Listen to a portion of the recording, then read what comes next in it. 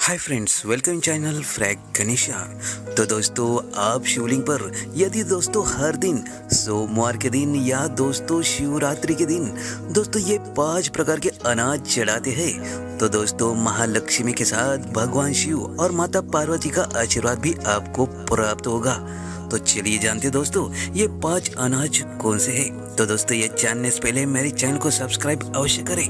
Bell icon press करके all button पर click ज़रूर करें। तो चलो शुरुआत करते हैं वीडियो से। तो दोस्तों शिव जी को प्रसन्न करने के लिए शिवलिंग पर अनेकों प्रकार की चीज़ें चढ़ाई जाती है। मान्यता है कि शिवलिंग पर जो भी श्रद्धा से अर्पित किया जाए, उसका फल अवश्य मिलता है। जी हाँ दोस्तों हिंदू धर्म में शिवलिंग की पूजा का बहुत महत्व है। पूजा के दौरान, दोस्तों, पूजा के दौरान शिवलिंग पर दूध, दही, शहद, पुष्प, धतुरा, बेलपत्र आदि समेत कई चीज़ें चढ़ाई जाती है। इनमें से एक है शिवा मुट्ठी, जिसमें पाँच प्रकार के अनाज शिवलिंग पर अर्पित करने का खास विधान है। दोस्तों, यदि आप ये पाँच अनाज हर सोमवार को या हर दिन या शिवरात्रि के दिन या प्रदोष काल में भी चढ़ाते हैं तो आपको अनेकों प्रकार के लाभ मिल सकते हैं चलिए जानते दोस्तों, ये लाभ कौन से है? तो दोस्तों, नंबर एक, शिवलिंग पर चावल चढ़ाना। जी हाँ शिवलिंग पर चावल चढ़ाना बहुत ही शुभ माना जाता है। चावल चढ़ाने से धन लाभ होता है।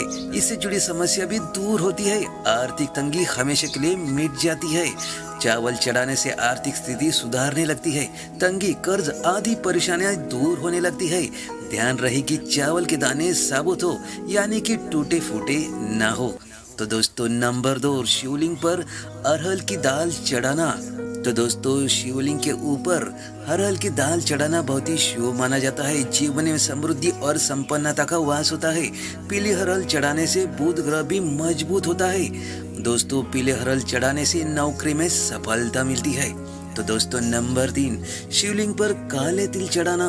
जी हाँ शिवलिंग पर काले तिल चढ़ाना ये बहुत ही लाभकारी माना जाता है। काले तिल चढ़ाने से पितृदोष शांत होता है।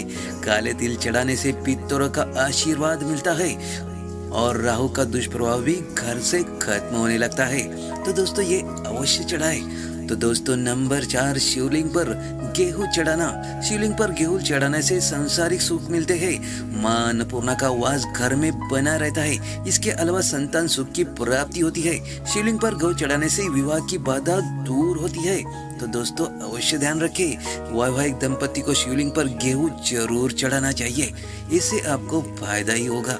तो दोस्तों, नंबर पाँच शिवलिंग पर मूंग चढ़ाना। जी हाँ दोस्तों, शिवलिंग पर मूंग चढ़ाना। शिवलिंग पर मूंग दाल चढ़ाने से नकारात्मक ऊर्जा नष्ट होती है। किसी भी काम में आ रही बाधाएँ दूर होने लगती है। काम सफलता के साथ पूरा होता है। इसका लाभ आपको मिलता है। दोस्तों आप भी भगवान शिव जी को प्रसन्न करने और उनकी कृपा पाने के लिए शिवलिंग पर शिवा मुट्ठी यानी कि पाँच तरह के अनाज अर्पित कर सकते हैं। अगर दोस्तों, ये अनाज आप अर्पित करते हैं तो आपकी हर एक मन की इच्छा तुरंत पूर्ण होगी। दोस्तों, सोमवार के दिन, हर दिन, या दोस्तों, शिवरात्रि के दिन, या प्रदोष काल में ये उपाय अवश्य करें। इससे आपको फ़ायदा ही होगा। तो दोस्तों, आपको तो दोस्तों, ये चढ़ाने से आपकी हर एक इच्छा पूर्ण होगी। दोस्तों आप वीडियो कैसे लगा अच्छा लगा हो तो लाइक, शेयर और कमेंट ज़रूर कीजिएगा। और कमेंट्स में ओम नमः शिवाय अवश्य लिखिएगा। धन्यवाद।